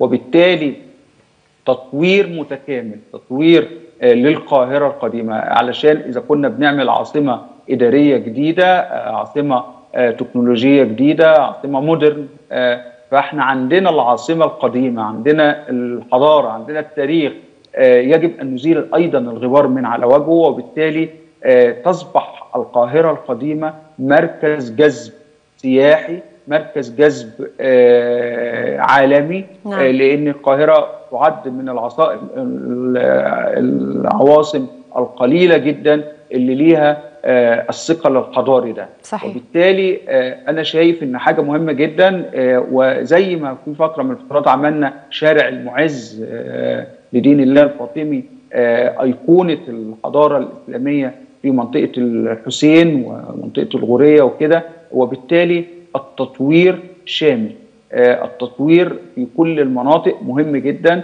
التطوير لكي تصبح القاهرة منطقة جذب كبرى عالمية. ده أمر جيد جدا وأمر مهم جدا للأنشطة السياحية الأنشطة الثقافية الأنشطة الحضارية الحفاظ على حضارتنا وبالإضافة للجزء الاقتصادي المهم جدا أن تخيلي هتبقى القاهرة القديمة بهذا التطوير. بإذن الله هتبقى منطقة اقتصادية مهمة جدا صحيح. منطقة لأهلها ولسكانها وفي نفس الوقت للحاضرين إليها حقيقي هنطلق مع حضرتك لمنشط آخر معانا خاص أيضا بنشاط الحكومة. الحكومة توافق على تقنين أوضاع 76 كنيسة ومبنى تابعا. تفصيل الخبر بتقول آه ترأس دكتور مصطفى مدبولي رئيس مجلس الوزراء أمس اجتماع اللجنة الرئاسية لتقنين أوضاع الكنائس. وده كان بحضور المستشار عمر مروان وزير العدل واللواء محمود شعراوي وزير التنمية المحلية والدكتور عاصم الجزار وزير الإسكان والمرافق والمجتمعات العمرانية والمستشار علاء الدين فؤاد وزير شؤون المجالس النيابية والدكتور مصطفى وزيري الأمين العام للمجلس الأعلى للآثار والعديد من السادة المسؤولين. وصرح المستشار نادر سعد المتحدث الرسمي لرئاسة مجلس الوزراء بأن الاجتماع استعرض نتائج أعمال المراجعة التي تمت منذ آخر اجتماع عقد للجنة في 12 أبريل الماضي فيما يخص أوضاع الكنائس والمباني. الخدمية التي طلبت تقنين أوضاعها وبناء عليه فقد وافقت اللجنة في اجتماعها على تقنين أوضاع 76 كنيسة ومبنى تابعا. وبذلك يبلغ عدد الكنائس والمباني التي تمت الموافقة على توفيق أوضاعها منذ بدء عمل اللجنة. وحتى الآن 1958 كنيسة ومبنى تابعا. رؤية حضرتك لهذا الخبر أستاذ يسري. اولا يعني أنا هاجي بقى من آخر الخبر يعني من آخر الخبر إن أنا يبقى من بدء عمل اللجنة بدأ تقنين أوضاع 1958 كنيسة نعم. ومبدأ مبنى تابع. يعني معناها حوالي 2000 كنيسة ومبنى تابع ليها. يعني يعني ده بيرجعني بالمقولة الشهيرة القاهرة بلد الألف مأذنة. فتخيلي إحنا كمان عندنا 2000 كنيسة دول اللي تقنن تقنين أوضاعهم نعم. و و وما قبل كده أعتقد أعداد أخرى فإذا بلد القاهرة أو مصر مش بلد الألف مئذنة فقط ولكن بلد الألف كنيسة بلد ال ال يعني هي دي مصر الحقيقية مصر اللي فيها لا فرق بين مسلم ومسيحي لا فرق بين دين إسلامي ودين مسيحي حتى لما كان عندنا بعض الإخوة اليهود المصريين لما كانوا موجودين كانت المعابد المصرية أيضا موجودة وما زال الاهتمام حتى الآن رغم أن عددهم لا يزيد على ما بقي من اليهود المصريين الحقيقيين المنتمين للأرض المصرية. لا يزيد عددهم عن 20 أو 25 واحد. ومع ذلك الحكومة المصرية بتهتم بالمعبد اليهودي أيضا والمعابد بتاعتهم لأن دي مصر الحقيقية. مصر اللي, تهتم بجميع الأديان. مصر اللي, هي حضارتها أصلا مكونة من جميع الأديان والثقافات. فيما يخص الكنائس والاجتماع الأخير ده بيعكس أيضا بعد جديد إن المسألة مش هوجة وخلاص وخلصت. يعني إحنا ممكن نقول مثلا بقى عندنا مثلا 1900 تابع وكنيسة تم التوفيق أوضاعهم لا اللجنة مستمرة. نعم. ما تراه مناسب للاستمرار بتمد للاستمرار آه وبالتالي آه عندنا تطوير في الجانبين. عندنا مساجد بتفتتح وعندنا أيضا كنائس بتفتتح. آه لكن أنا أرى إن إذا كانت الدولة بتعمل اللي عليها زي ما بيقولوا في افتتاح كنائس ومساجد. على الكنائس والمساجد أن تقوم بدورها أيضا لأن إحنا أمام مشاكل كبيرة جدا بتخص وجدان الوطن تخص كيان الوطن والكنائس والمساجد. مهم جدا إنها تقوم بدورها الحقيقي. الكنيسة والمسجد ليست دورا للعبادة فقط ولكنها منارة للوطنية لأنها بؤرة إشعاع للوطنية. يجب إن كل مشاكل مصر يتم يعني تدعيمها وتم يتم مناقشتها ويتم تحفيز المواطنين على المواجهة على مواجهة هذه المشاكل من مشاكل اقتصادية من مشاكل إقليمية من مشاكل سياسية. الكنيسة والمسجد يجب يعني المسجد كان في عهد الرسول عليه الصلاة والسلام كان مكان للدولة.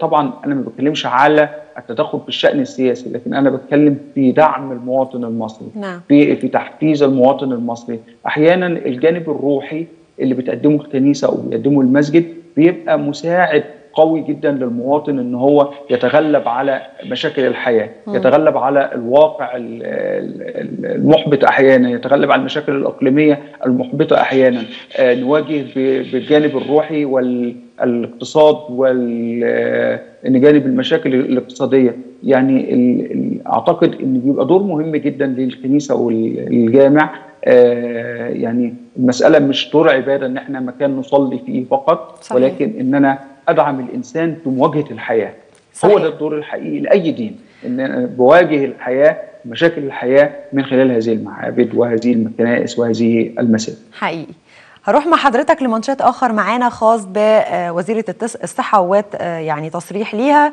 بتقول متابعة دقيقة من القيادة السياسية للوضع الوبائي الراهن في البلاد.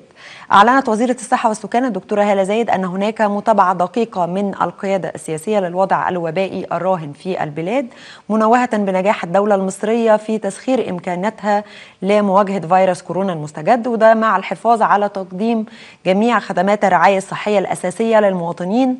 الأمر الذي أدى إلى استنفار جميع أجهزة الدولة واستعدادها لمواجهة الموجة الحالية من كورونا والتي ظهرت بقوة في بعض الدول. وأكدت الوزيرة في تصريحات صحفية أن تحديث الضوابط والاشتراطات والإجراءات الصحية التي يتم تطبيقها بالحجر الصحي بمنافذ دخول البلاد الجوية والبرية والبحرية تزامنا مع المستجدات الخاصة بفيروس كورونا مشددا مشددة في الوقت ذاته على المتابعة الدقيقة من قبل الدولة لما يحدث في العالم من حيث الرصد والمحاذير وأساليب العلاج والوقاية وفي نفس الوقت البحث العلمي وصولا للقاح آمن وفعال. رؤية حضرتك طبعا لهذا التصريح ونتكلم عن الوضع الحالي والوضع الوبائي الراهن في البلاد مع انتشار جائحة فيروس كورونا. طبعا زي ما قلت لحضرتك المسألة يعني إحنا بقينا في عصر بتتشابك فيه الأخبار كلها مع بعض. من شوية وإحنا بنتكلم عن الوضع الاقتصادي جبنا سيرة كورونا لأن كورونا أثرت بشكل كبير جدا على معدلات التنمية الاقتصادية. وبالتالي لا يمكن إحداث نهضة تنموية بدون صحة المواطن. دلوقتي يعني الحمد لله يعني على كل شيء هذا الوباء أو هذا البلاء أو هذا الفيروس اللي بيجتاح العالم كله بيجعل العالم كله يعني بيواجه هذه المشكلة. إحنا الحمد لله بشكل أو بآخر يعني أنا دايما وده يعذرني يعني السادة المشاهدين أحيانا حين يعني يقف العقل عاجزا أمام العلم فلا يجد إلا الله لا يجد إلا أن ينظر يرفع وجهه إلى السماء. فأنا أعتقد إن مصر ربنا حافظها يعني ربنا عالم بعباده في مصر عالم بالشعب المصري يعني. وبالتالي الشعب المصري الحمد لله بيواجه هذه الجائحة بشكل أو بآخر. طبعا القيادة السياسية زي ما قلت لأن الحاجات كلها متداخلة مع بعض. وصحة المواطن أهم ما يعني أهم توجه لأي قيادة سياسية. الرئيس طبعا بي بيتابع هذه التحركات وهذه المواجهات من قبل وزارة الصحة والأجهزة المعاونة. طبعا ما يحدث في تونس الآن وما يحدث في العديد من بلاد العالم يجعلنا يعني نقول يا رب يا رب يعني نجينا جميعا ويا رب ينجي إخواننا في تونس واخواننا في, في الإنسانية في أي بلد في العالم كله من هذه من هذا الوباء. لابد إن إحنا طبعا لا نستكين الحمد لله الحمد لله الحمد لله بقول الحمد لله ثلاث ثلاث أربع مرات يعني على إن أعداد المصابين في مصر قليلة بشكل كبير. زي ما قلت العناية الإلهية يعني يعني الحمد لله يا رب إنك أنت يعني عالم بينا بالشعب المصري. لكن ده لا يمنع إن إحنا نمرة واحد نزود الاهتمام بالتلقيح أو اللقاحات لابد إنها تتم بشكل مستمر. في بعض الأشياء لابد إنها تتم بشكل سريع. مثلا نواجه المصريين اللي, اللي مسافرين للخارج لابد إن إحنا إذا كان بعض البلاد بتشترط إن هم حصولهم على لقاحات لابد أن نوفرها بشكل سريع و ولأنهم ما ينفعش يقعدوا أمام طوابير يقفوا في طوابير زي طوابير المقيمين وهكذا وهكذا. وبالتالي أنا بتوقع كمان الإنجاز الكبير اللي بإذن الله ربنا يسهل ويتم إن هو إنتاج لقاح مصري للكورونا وتصديره إلى القارة الإفريقية لكي يكون نمرة واحد انعكاس للتقدم العلمي في مصر من جهة، ثانيا إن تبقى مصدر دخل أيضا ومصدر مساعدة في القارة الأفريقية. ونحن نتابع ما يحدث في القارة الأفريقية. وعلى مصر أن تجد لها أو تستعيد مكانتها اللي كانت موجودة. وهذه المكانة مش بالكلام ولا بالأغاني ولكن بالأفعال وبالأعمال. وأعتقد إن هذا التوجه توجه مهم جدا في هذا المسار. طيب على ذكر تونس مش بس في الوضع الراهن الخاص بالإجراءات الاحترازية الوقائية من فيروس كورونا ولكن احتجاجات تطالب بإسقاط الحكومة ومحاسبة الغنوشي يعني امبارح تابعنا في آخر اليوم بقيس سعيد يترأس اجتماعا طارئا للقيادات العسكرية والأمنية. أعلنت رئاسة الجمهورية التونسية بموقع تويتر أن الرئيس التونسي قيس سعيد ترأس اجتماعا طارئا للقيادات العسكرية والأمنية وكان قد أعلن الرئيس التونسي تجميد عمل البرلمان ورفع الحصانة على أو عن النواب استنادا إلى الفصل 80 من الدستور. وذكرت وسائل إعلام تونسية أن الرئيس التونسي أعلن إعفاء رئيس الوزراء هشام المشيشي من منصبه. يعني رؤية حضرتك للوضع في تونس وطبعا التظاهرات اللي تبعناها من فترة وانتهت بهذا الاجتماع الطارئ. طبعا لأن كانت زي ما بيقولوا كده الكورونا برضو هي القشه التي قسمت ظهر البعير هناك. البعض حجم الإصابات اللي موجودة في تونس من هذا الوباء كانت كبيرة. الإمكانيات طبعا يعني الإمكانيات المواجهة يعني أنا بأعذر الحكومة التونسية في فكرة المواجهة بظروف اقتصادية صعبة جدا. العالم الاقتصادي الآن يعني العالم بيعاني. الدول الكبرى يعني إحنا شفنا اللي حصل في بريطانيا واللي حصل في أمريكا. الدول الكبرى لا تستطيع المواجهة فما بالك بالدول اللي هي الاقتصاديات بتاعتها ضعيفة. وبالتالي أنا يعني إلى حد ما بعذر. لكن الرئيس التونسي اتخذ إجراءات لأن هو في النهاية أمامه صحة المواطن المصري أمامه حياة آسف المواطن التونسي أمامه حياة المواطن التونسي أمامه التنمية أمامه الاستقرار في تونس وبالتالي لم يجد بد يعني اتخاذ القرار الرئيس التونسي لقرار إقالة الحكومة وحل البرلمان يعني أعتقد إن هو وصل لأمر إن لابد من هذه المواجهة المواجهة السياسية الساخنة في دولة تتمتع بقدر كبير جدا من الديمقراطية وفي نفس الوقت اللجوء لاجتماع موسع للقيادات الأمنية والعسكرية يوحي بأن هناك خطر داهم لابد من التعامل معه امنيا وعسكريا ولم يعد الأمر للتعاملات السياسية العادية اللي هي في أوقات الأزمات أو أوقات الصعبة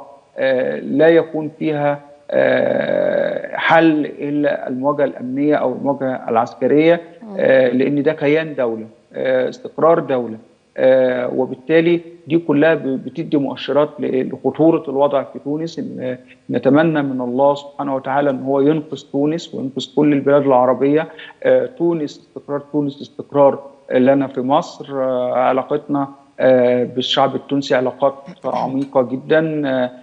أمن القومي المصري يمتد لتونس وللمغرب وللعراق يمتد من المحيط إلى الخليج. الأمن صحيح. القومي المصري لدولة كبرى زي مصر لا ينحصر داخل حدودها زي أي دولة أخرى. لا أمن القومي المصري من زي ما قلت من المحيط للخليج ونحن في ذكرى 23 يوليو مثلا والزعيم الراحل جمال عبد الناصر كانت مصر ال ال ال الأمن القومي الداعم. زي ما قلت من المحيط للخليج ولكن امتد التأثير المصري إلى دول العالم الثالث وإلى أفريقيا. حتى كانت يطلق على الرئيس عبد الناصر في أفريقيا the father of Africa يعني أبو أفريقيا. فأتمنى إن إحنا نعود بمصر لهذه المكانة.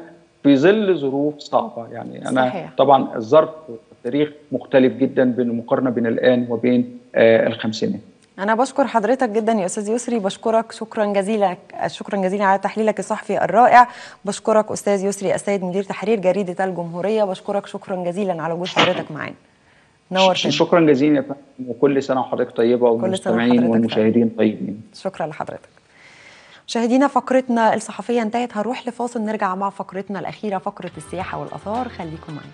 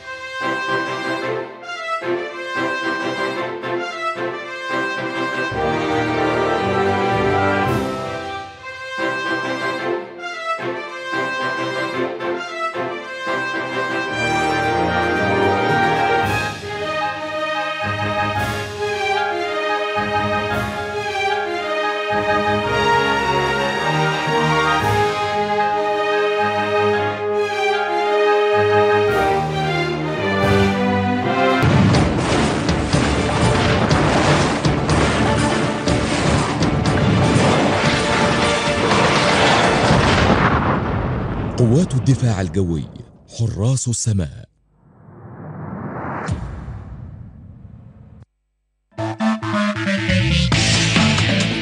للإعلان على ميسات اتصل على 012 76 22 3 أربعات 5 أو 012 76 22 3 أربعات 6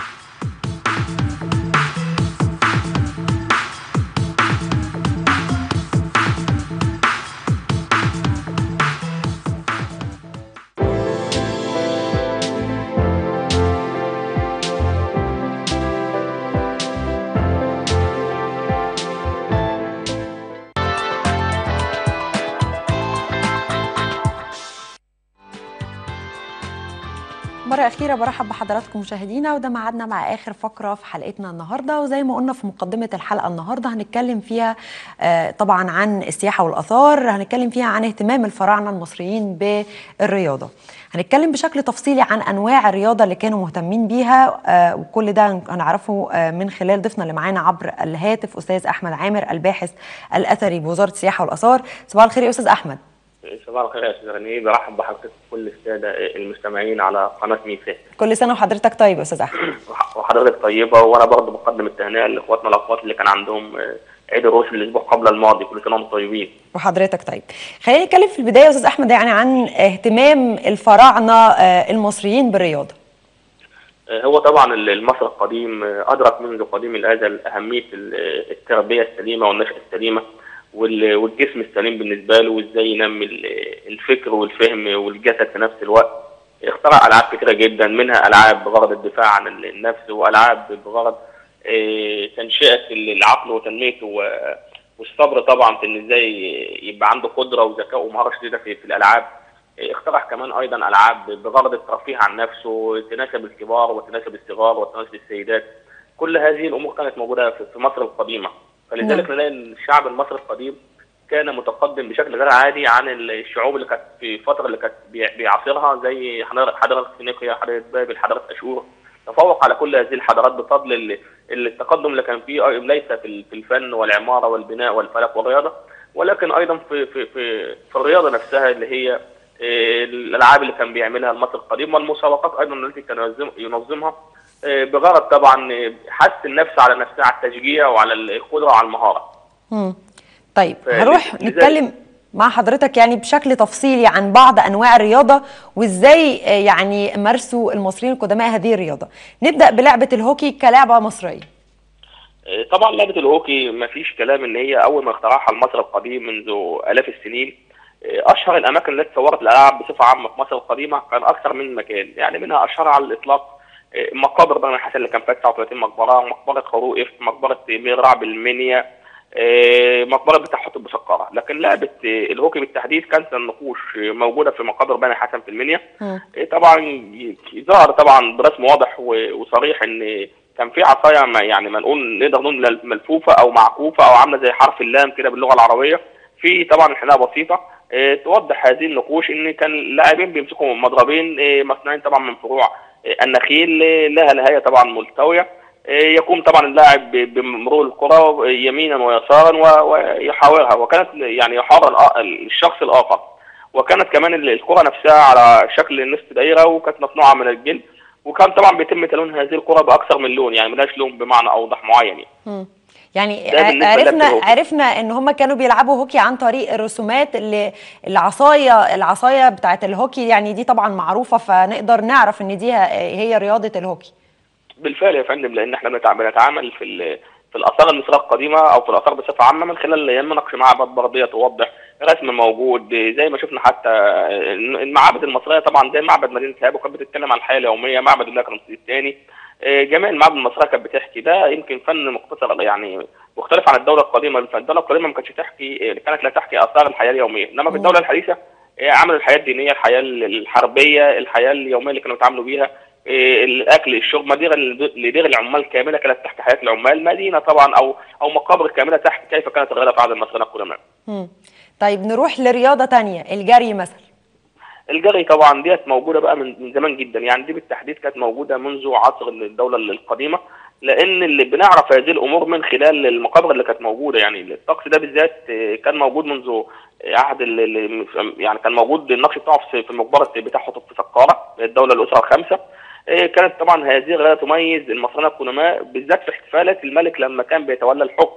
لأن هذه الطقوس أصلا كانت بالنسبة للملك كان يقوم لازم يقوم بطقس اسمه طقس الحبسد والطقس الثلاثيني. الطقس الحبسد ده بيثبت إن هو قوته البدنية عشان يقدر يحكم الدولة ويبقى عنده القدرة والشجاعة والخفة وسرعة البديهة والمهارة إن هو والعقلية أيضا في إن هو يقدر يعني زمام ويحكم الأمور.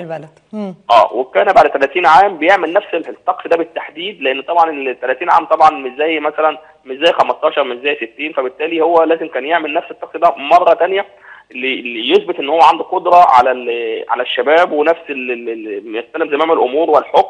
آه، نفس هذه القوة موجودة عنده. فلازم كان يحصل هذه الطقوس وكمان ما كانتش قاصره كمان أيضا ال- ال- العدو بالذات أو الجري على على الملك فقط. لكن كان في الرجال والسيدات وكان في الأطفال بيعملوا مثل هذه ال- الرياضة. يعني كان بيتم السباق مع حد تاني علشان يقدر يقول إن أنا أقدر أمسك الحكم ولا يعني يعني عرفنا إزاي يعني رياضة العدو؟ آه، حضرتك ديت كانت موجودة مصورة على مقبرة بتاع حتف في سقارة. ديت من طقوس استلام شارات الحكم في عهد المصري القديم. هي مم. اسمها كده طقس الحبسة. ده كان بيصور الملك وهو بيقوم بأداء هذه الرياضة. ما كانش. بيتسابق مع حد لكن كان بيجري مسافة معينة يثبت ذلك الأمر إن هو راجل شباب. لو ما عملش هذه الطقوس يبقى الملك في كهله أو مثلا الملك ضعيف صحيا أو بدنيا أو ما. يقدرش يحكم الدولة. فلو ما عمل دي من ضمن طقوس استلام آه، زي مثلا إحنا النهارده بنقول لك إن السيد الرئيس في الفترات الحديثة لازم يحلف اليمين وبيعمل بروتوكولات معينة عشان يثبت إن هو خلاص حكم يعني البلاد. فهو ك- نفس القصة عبد الملك كطقوس معينة لازم تتعمل عشان نعرف أو يعرف إنه يقدر إدارة البلاد إن هو آه، يعني آه، صحيا كويس. مظبوط يا فندم. نثبت إن هو فعلا عنده شباب ما عندوش أي أمراض مزمنة فكان لازم يعمل هذه الطقوس جميع الملوك عمل هذه الطقوس يعني من الدولة القديمة لغاية الدولة الحديثة. كان. الطقس ثابت عند المصري القديم. تمام. هروح مع حضرتك لرياضة تانية يا أستاذ أحمد. يعني نتكلم عن الملاكمة. آه، الملاكمة ديت من أشهر الألعاب اللي موجودة عند المصري القديم. آه، يمكن ناس كتير خدتها دلوقتي هي موجودة حاليا ولكن هي كانت أحد الانشطه الأنشطة اللي كانت منتشرة في تلك الفترات. ظهرت طبعا العديد من المناظر تصور هذه الرياضة بين الصبيان على مقبرة برضه بتاع في سقاره من الأسرة الخامسة. وديت أقدم رياضة آه، موجودة لدى المصري القديم في الأسرة الخامسة بالتحديد. يعني إحنا بنتكلم عن طقس العدو وقلنا ده خاص بالملك من الأسرة الخامسة لكن دي أقدم رياضة آه، صورت وظهرت على على المقابر في الدولة ال- ال- القديمة من الأسرة الخامسة. آه، كانت بتمثل رياضة المصارعة بين الرجال المحترفين في وضعيات أو أو أشكال متعددة. وكمان برضه في مقبرة ثانية اسمها مقبرة الأمير باقي ده في- موجودة في بني حسن صورت لعبة ال- المصارعة آه، إن إزاي هم كانوا بيقوموا ب... ب... يعني بتوجيه اللكمات لبعض وكان غ- بغرض هذه اللعبة الدفاع عن النفس يعني. طب يعني إزاي عرفتوا تفرقوا ما بين الملاكمة والمصارعة عن طريق ال- الجدران اللي كانت مرسومه يعني حضرتك الصورة اللي موجودة قدامنا ديت دي حضرتك الملاكمة آه. إنما المصارعة كانوا بيمسكوا بعض من الوسط كده ويقلبوا بعض. يعني حضرتك لو شفت المصارعة في الصورة الثانية خالص آه لا معانا على بعض من الوسط. أيوه بيرفعوا من الوسط كده حضرتك وينزلوا آه. وي- وينزلوا على الأرض زي مثلا ما بنشوف المصارعة الروماني. يعني مم. المصارعة ديت دي اسمها المصارعة الروماني اللي هي موجودة حاليا بالفعل. نفس اللي بيعملوه دلوقتي هو اللي كانت موجودة. مم. لكن الملاكمة اثنين بيضربوا بعض بال... يعني بال... بال... بقبضات اليد هو ده الفرق بينهم وباينه حتى واضحة في المقابر المصورة في, في تلك الفترات يعني. مم. طيب من الملاكمة والمصارعة أروح مع حضرتك للجمباز وده كان للرجال والنساء. نتكلم عن المرحلة دي. آه، طبعا الجمباز طبعا من أشهر الألعاب للمصري القديم سواء رجال أو سيدات. آه، هي الحضارة المصريه القديمه هي اللي وضعت ال- ال- الأصول أو اللبنات الأولى لهذه اللعبة تحديدا. آه، المقابر طبعا أو المناظر الموجودة في المقابر وضحت العديد من الأوضاع الدقيقة والهامة. منها آه، أربعة شباب يعني طبعا بيقف أحدهم باسطا طبعا هو بيبسط إيده آه، بيزرعه بشدة جدا بشكل مستوى آه، اللي هو الكتف نفسه وبعد كده يجي واحد تاني قصاده آه،. يعني يبنى من نفس الموضوع يعني يبرز برضه أو يوضح ذراعه أو. بشكل مستقيم برضه لمستوى ال- الكتف آه، بعد كده ممكن يقف على ساق واحدة آه، ممكن مثلا يدفع إيده للأمام آه، والأوضاع نفسها ال- ال- ال- الناس المماثلة بياخدها برضه أيضا الأشخاص الآخرين آه، كل هذه الأمور ظهرت في مقبره الأمير فاقس من في بني في بني حسن في في المنيا. المرأة برضه المصرية كانت أول نساء مارست لعبة الجمباز. آه، هذا المنظر كان موجود طبعا كمان بمصاحبة الموسيقى. يعني عشان الناس تطلق ال- الباليه آه، اللي إحنا بنشوفه ده كمان كان موجود في عهد المصريين القدماء وتحديدا للسيدات عن طريق كمان مصاحب لهم الموسيقى في أداء هذه اللعبة. آه، يقومون كمان هم بأداء يعني اداء يعني أداء هذه ال- ال- ال- الرياضة بشكل وثبي متتالي بدون لمس الأرض وكمان بدماغهم. يعني هي يمكن أول صورة باينة خالص اهيت ناس بيبقوا وسطهم لكن ده واحد حد واقف على على إيديه. فبالتالي آه. ما كانش بيحصل الكلام ده إلا في مصر القديمة وده وده شكل الجمباز بالفعل. كان كمان بينحني الجسم كمان للخلف حتى تقوم ال- ال- ال- الإيد نفسها يعني تلمس الأرض آه، مما هذا الأمر اللي غرض منه يوضح المرونة. آه، هذه كمان الم- المقابر احتفظت بمجموعة من مناظر الرقص الجماعي اللي هو الرقص الإيقاعي. آه، بنشوف كمان عدة فتيات يودن رقص يعني رقصات إيقاعية في أوضاع من- منتظمة. هذه ال- ال- ال- الرياضة ظهرت كمان في مقبرة خروقف في فلذلك هذه الرياضه كانت بتوضح مدى إن الجسم مرونة الجسم والجسم إن فعلا مشدود كما نرى لأن لعبة الجمباز بالذات لعبة مختلفة عن اللعبات الأخرى لأن لازم بت- بتقوم على تح- على يعني على الجسم بأشكال معينة. ممكن واحد يقف على على على مش على مش على رجله بقى. لا ده ده بيقف على رجله على على رجله واحدة على قدم واحدة فقط. ولكنه ممكن كمان يقف على إيده. فبالتالي دي ميزه المصري القديمة عن الحضارات المصرية الق- القديمة خالص أو عن حتى الفترة الحديثة لأن هي تم أخذ هذه اللعبة وتم تطويرها فيما بعد يعني اللي هي لعبة الجمباز واللي هو الرقص الإيقاعي أو الباليه كما يطلق عليه. صحيح. طيب أروح مع حضرتك لأول مبارزة بالسيف في آه، عهد أو عصر الفراعنة. طبعا آه، لعبة المبارزة بالسي- بالسيف أو اللي هي لعبة الشيش حاليا اللي كانت موجودة حتى امبارح. إحنا كان في حتى حد بيلعب امبارح من مصر آه، شاب كده عنده 18 سنة. مم. هذه اللعبة هي اللعبة الموجودة حاليا في اولمبياد أولمبياد طوكيو. آه، تم توصل المصريين القدماء وعدوا لها أدوات خاصة وأقنعة استخدمت لحماية الوجه. آه، وقد أظهرت آه، أو وضحت أول مبارزة للمصريين القدماء في نقوش معبد مدينة هابو. كما ذكرت منذ قليل إن هذه المعابد كانت بتتكلم عن آه، الحياة اليوميه للمصري القديم يعني. آه، كان هذه اللعبة ظهرت في عهد الملك رمسيس الثالث وظهر فيها المتبارزين ممسكين بأسلحة مغطاة. الأطراف بتاعتها آه، عند الطرف طبعا بتاعتها كانت هذه طبعا عشان ما تأذيش. هي اللعبة اللي على الصورة بالظبط هي دي المبارزه بالسيف عشان طبعا هذه الأطراف ما تأذيش حد. وكانوا كمان بيلبسوا كمان اقنعه لحماية الوجه تشبه إلى بنسبة كبيرة جدا اقنعه الحديثة اللي إحنا فيها دلوقتي. هي دي. لعبة ال- المبارزه بالسيف أو لعبة الشيش حاليا اللي هم بيلعبوها في اولمبياد طوكيو. طب أروح مع حضرتك ل يعني رياضة الرماية والمعروف إن رياضة الرماية هي رياضة الملوك. بالفعل هو اللعبة دي بالذات كانت الغرض منها ال- الدفاع عن النفس. يعني كان عباره يعني المصري القديم كان يعتني بهذه لعبة الرماية أو رياضة. الرماية وكانت تدريب غرض الدفاع عن الوطن ضد الغزاة. لأن إحنا عارفين إن المصري القديم كان محتل أو كانت الهكسوس محتلية جزء من مصر مش كل مصر عشان بس تبقى المعلومة صحيحة يعني. دي مم. المعلومة اللي دايما موجودة في الكتب خاطئة إن بيقول لك ال- الهكسوس احتلوا مصر. لا الهكسوس لم يحتلوا مصر. هم احتلوا جزء من مصر كان موجود في الصعيد عشان مم. بس تبقى المعلومة واضحة للناس جميعا. بالفعل تم طبعا تعليم الم- ال- المتدربين والملك أيضا لأن الملك طبعا كان بي- لازم يلعب لعبة الرماية. آه، الملوك مصر القديمة طبعا كمان مارسوها. ظهرت مناظر كثيرة جدا عن الآثار المصرية ومنها معبد سيتي الأول بأبيدوس أو آه، طبعا أو أبيدوس اللي موجودة في سوهاج. كما كمان تم تصوير مجموعة ضخمة من الرماة يتدربون على الرياضة عن طريق استخدام القوس والسهم لأن طبعا برضه الملك كان دايما في مقدمة الجيش فكان يستخدم القوس وبيتعلم هذه الأمور والسهم إن هو طبعا يعرف يصوب جيد بحيث طبعا ان ان إن كانت هذه ال- ال- الأسلحة كانت موجودة آه، في تحديدا بعد غزو الهكسوس لجزء من مصر فكان المصري القديم طبعا طور هذه الأسلحة بغرض الدفاع عن الوطن. فدي من أهم الألعاب اللي كان لازم الملك يمارسها لأن الملك ب- بصفة عامة كان لازم يقوم في مقدمة الجيش. لذلك شفنا ملوك ملوك كثيرة جدا ماتوا بسبب الموضوع ده. بس هو كان بغرض إن هو القوه يعني يعطي القوة والشجاعة للجيش اللي معاه ويدي الطمانينه وإن هو بيواجه الخطر قبل الجيش كمان يعني. فدي. كانت من الحاجات اللي ميزت المصري القديم في في الجيش ان هو الملك لازم يكون في مقدمة الجيش. صحيح.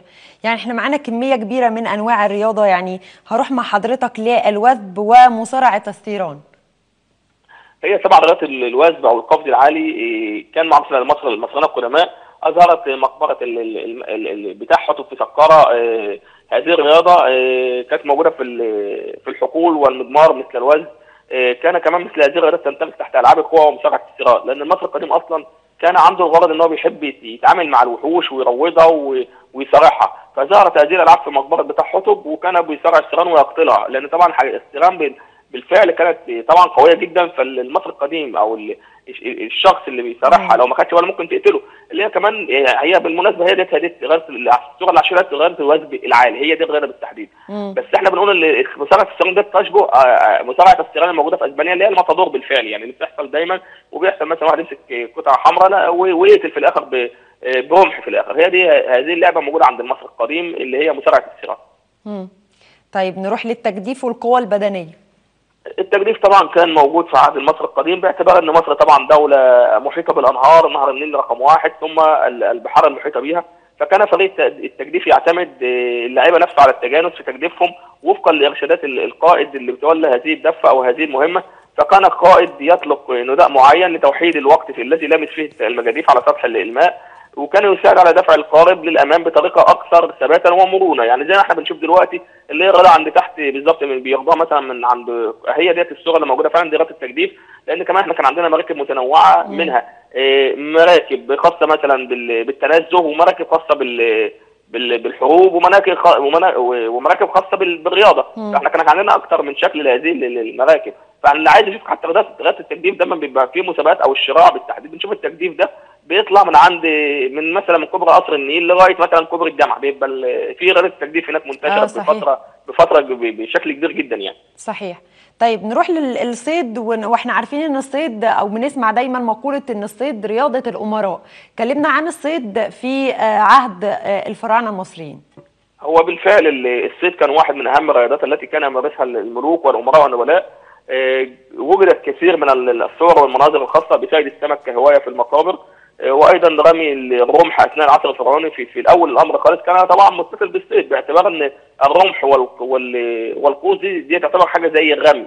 فلذلك لما نشوف ال- ال- ال- اختلف طبعا طول الرمح وفقا لنوع الفريسة يعني مش كل الف يعني الف يعني الفرس زي بعضه. حتى الصور اللي موجوده دي صيد الأسماك يعني دي غلط كمان صيد الأسماك الصورة اللي قدامنا دي إيه، لكن صيد ال ال- ال- السمك بالتحديد كان مثلا ممكن بيتم عن طريق سناره يعني عبارة عن بوش كده ويبقى في سن كده بحيث وخيط وسن طبعا بحيث إن هو يستطيع أن يصيد هذه الأسماك.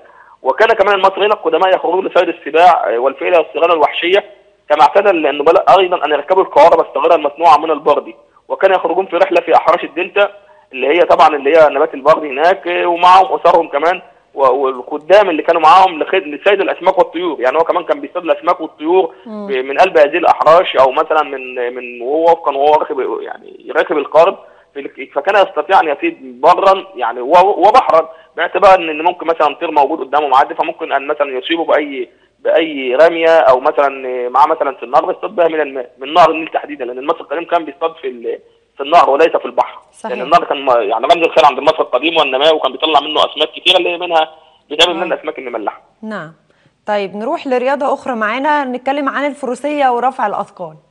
هو طبعا الفروسية ورفع الأثقال طبعا آه، الفروسية بالتحديد لم تظهر إلا في عهد الدولة الحديثة لأن أصلا مصر القديمة ما كانش عندها خيل. يعني الفترة اللي آه. قبل احتلال جزء من الهكسوس ما كانش موجود لا في الدولة القديمة ولا في الدولة الوسطى آه، خيل خالص.